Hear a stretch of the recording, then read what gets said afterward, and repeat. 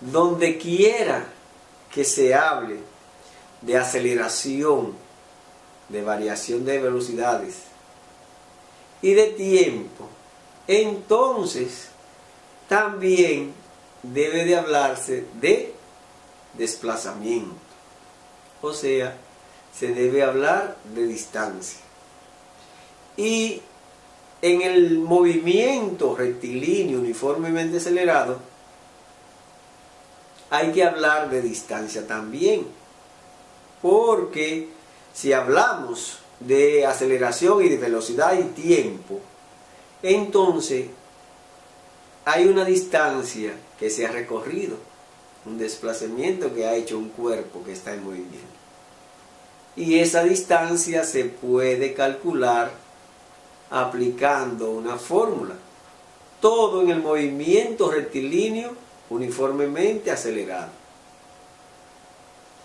Y la fórmula dice, para calcular la distancia en el movimiento rectilíneo uniformemente acelerado, que la distancia es igual a la velocidad multiplicada por el tiempo, más un medio de la aceleración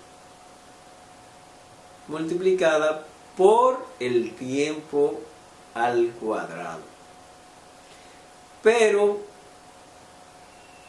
esta fórmula se puede expresar mejor cuando la aplicamos en la práctica en el siguiente ejemplo que dice que un tren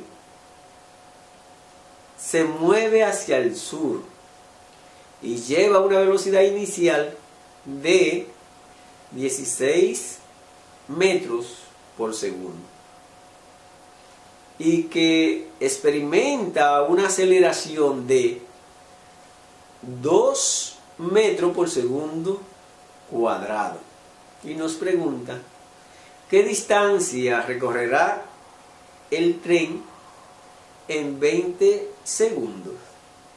Entonces, aplicando la fórmula, podemos resolver este problema. Y la fórmula es la siguiente. Distancia en el movimiento rectilíneo uniformemente acelerado es igual a la velocidad multiplicada por el tiempo más un medio de la aceleración por el tiempo cuadrado. Con esta fórmula podemos resolver el problema que hemos planteado. Y los datos que nos dieron son la aceleración, que es igual a 2 metros por segundo cuadrado, la velocidad inicial, que es igual a 16 metros sobre segundo, el tiempo, que es igual a 20 segundos, y nos piden la distancia. Con los datos que tenemos, solamente tenemos, tenemos que sustituir los valores en la fórmula por lo tanto, la distancia será igual a la velocidad que mide 16 metros sobre segundo multiplicada por el tiempo que vale 20 segundos más un medio de la aceleración. ¿Y cuánto vale la aceleración? 2 metros por segundo. 2 metros sobre segundos al cuadrado. Multiplicado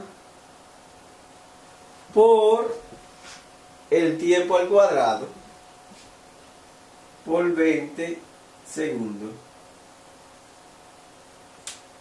todo al cuadrado. De esta forma es que determinamos la distancia que recorre un cuerpo que está en movimiento y que lleva una aceleración de 2 metros por segundo cuadrado a una velocidad de 16 metros por segundo en 20 segundos. Y calculamos la distancia será igual 20 por 16 calculamos, tú tienes la calculadora lo hace 0 12 0 2 0 2 3 sería 320 metros. Se fue segundo con segundo más un medio de la aceleración la mitad de 2 es 1 ¿de acuerdo? por 20 al cuadrado que son 400 de nuevo para llevarlo al paso un medio por 2 es igual a 2 sobre 2. 1 por 2, 2. 2 por 1, 2. Entonces, esto es igual a 1. ¿De acuerdo? Lo vimos más claro. 20 al cuadrado son 400. ¿Correcto? Lo mismo también. Entonces, 1 por 400 por 400 segundos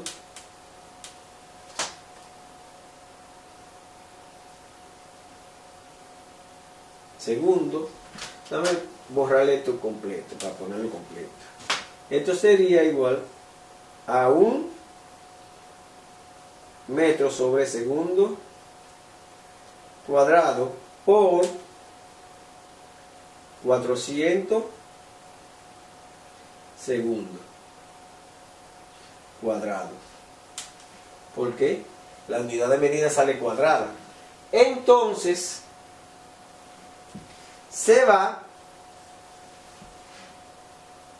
segundo cuadrado con segundo cuadrado y multiplico 1 por 400 sería 400. Voy a borrar esta parte de aquí. Y me quedaría que la distancia es igual a 320 metros más 1 por 400 son 400 metros. Entonces la distancia sería igual 320 más 420, 400 eh, metros. Sería 720 metros. De esta forma es que se calcula la distancia que recorre un cuerpo que está en movimiento en el movimiento rectilíneo uniformemente acelerado. En esta parte es mucho más fácil cuando te dan la calculadora, pero solamente tiene que aplicar la fórmula de la distancia que siempre te la van a dar. Y ahora te corresponde ir a la práctica, disfrutar de ella mientras aprende. Y nosotros nos vemos en la próxima clase. Un placer.